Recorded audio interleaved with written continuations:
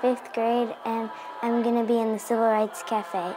I'm going to be the 14th Dalai Lama.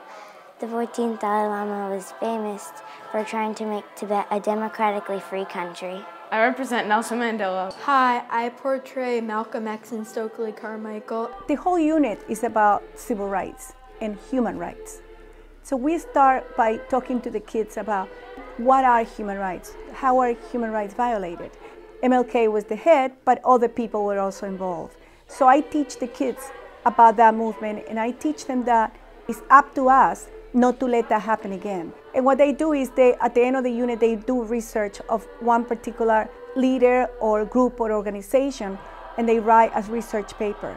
After we finish the research paper, we get ready for the cafe, which is the time for the children to explain to the parents, to, to perform in front of the entire community um, about what they learned during the civil rights movement. Today I'm going to represent Mahatma Gandhi. I represent the Americans with Disabilities Act. I'm going to be a member of the Congress, which helped get rid of slavery and also helped African Americans gain their civil rights. I represent the March on Washington.